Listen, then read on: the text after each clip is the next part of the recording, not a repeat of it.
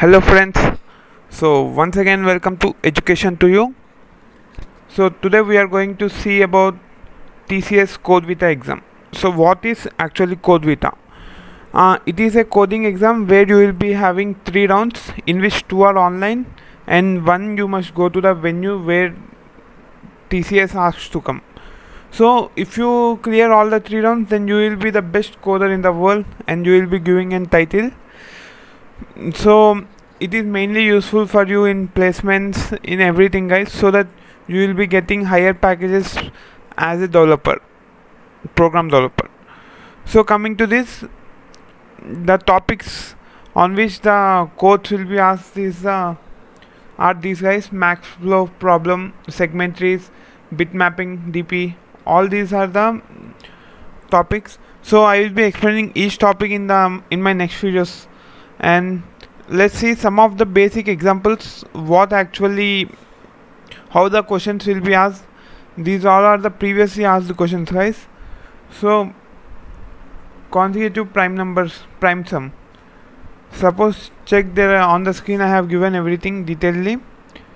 And if you need the output of this and if you need the code of this then there will be a what we call a link in the description. You can go there you can download the file and you can check out all the solutions. So see some prime numbers can be expressed as a sum of consecutive prime numbers. So for this the code is this one guys. I have done this all previously.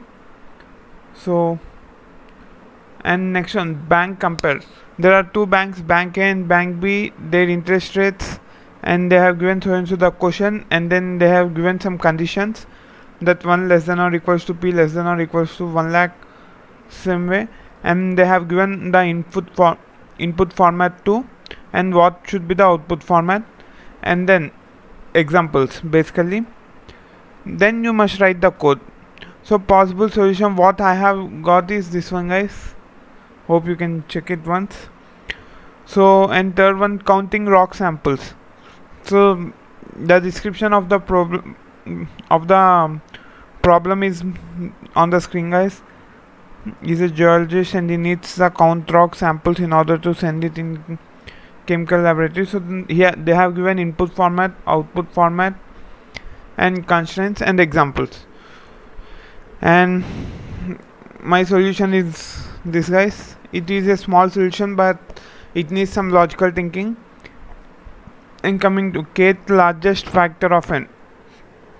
You can call it as nth largest factor of n or else kth largest factor. So all the this is coming from mathematics guys.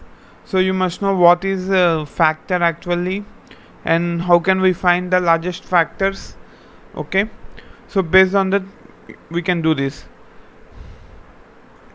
And solution so you can read all the description from the link given below a google drive link guys where you can download this.